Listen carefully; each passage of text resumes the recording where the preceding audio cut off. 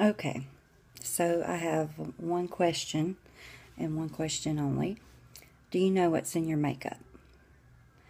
I actually have a paper here that tells you a little bit about something. I'm going to post it later, and I do want everyone to read it because there's a couple of websites that you can go to, and it'll tell you um, different things that they use in your makeup. I'm going to read a little bit here. Um, the Food and Drug Administration does not require cosmetic companies to list ingredients. Fetal tissue is used to develop um, neo. I'm gonna spell it N E O C U T I S. It's a skincare company. It openly admitted that it had used cells derived from an aborted fetus. Um, and then it says here collagen is uh, a substance found in connective tissue, bone, and cartilage. Um, check your beauty products because you're going to be shocked. Um, unless it specifies animal collagen or bovine collagen, it's probably um, human collagen that is in your skincare and your makeup. Um, and when they take it from the human, it's from the placenta. And um, it doesn't tell how they get it from the placenta. Um, Hydrafacial also uses baby foreskin to fight acne. Um, a lot of um, companies that use these products and test on animals, which means animals are still living. They're sticking needles in their body, sticking needles in their eyes. Um, rabbits, dogs, cats, horses. They're using all that to make your makeup.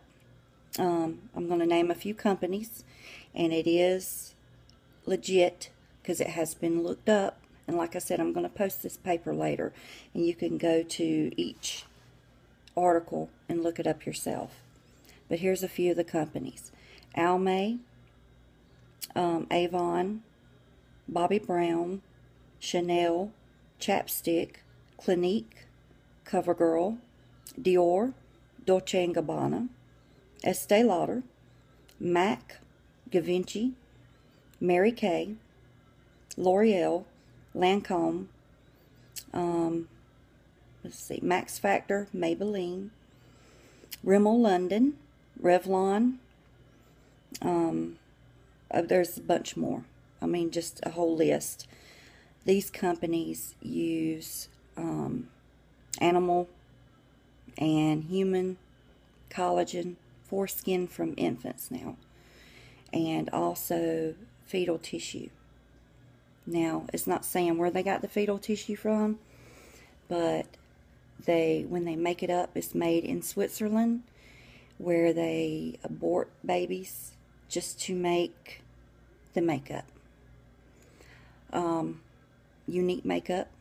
You can look it all up. Like I said, does not contain any of this. It's all natural ingredients. And like I said before, it takes 26 seconds for whatever is in your makeup and skincare to go into your bloodstream. Once you put it on your face or on your body, 26 seconds.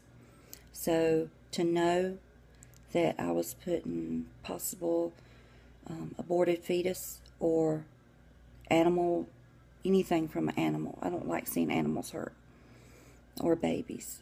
Um, that really upset me. There's no other makeup at my home other than Younique. Um, if my son needs to clean his face, we have an acne wash that he uses.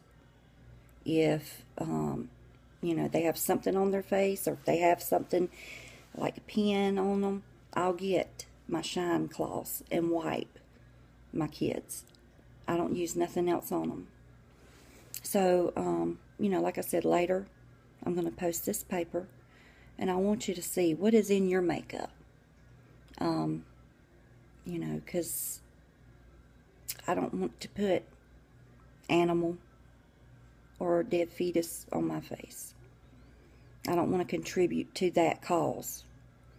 So, again, what is in your makeup? Talk with you guys later. Bye.